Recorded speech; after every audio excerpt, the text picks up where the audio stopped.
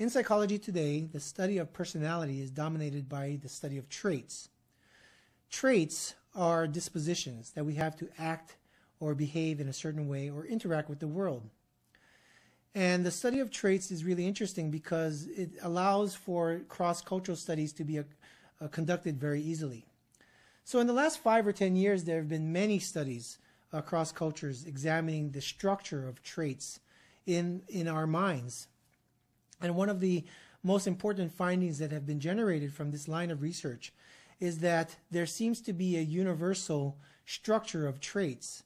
That is, that, uh, that people all around the world seem to have uh, certain basic traits that is consistent.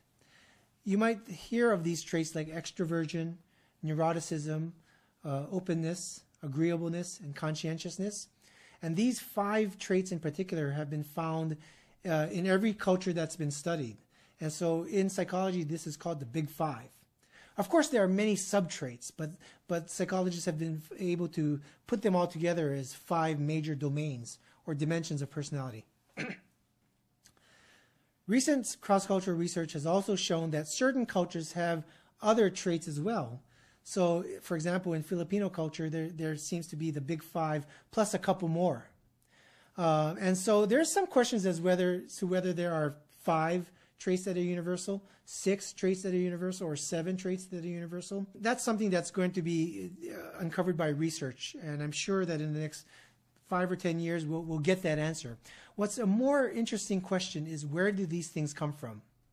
Now, many cross-cultural psychologists will want to say that, well, cultures facilitate people having certain types of traits.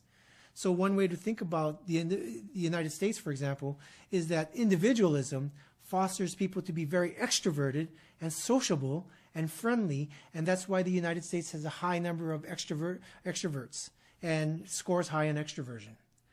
Um, and it may be true that cultures facilitate or shape the traits. But there's a lot of evidence to suggest that there's a biological component to traits as well, that there's some, there, there may be some trait genes now, it's true that science has not yet found what genes those are, but there's evidence suggesting that that may be the case. Now, if that's the case, it's really interesting because then it would suggest that the United States is more extroverted, not because of the individualism as a cultural product driving it, but because there's more people with these genes for the extra for extroversion to come out. And it may be that the cultural factor of individualism is a result of these genes and not the other way around. Now, these are all speculations, and we really don't know the answer to which way it goes, and it's probably a combination. Um, but this is some interesting, these are some interesting speculations that occur because of these cross-cultural differences that you can find in traits around.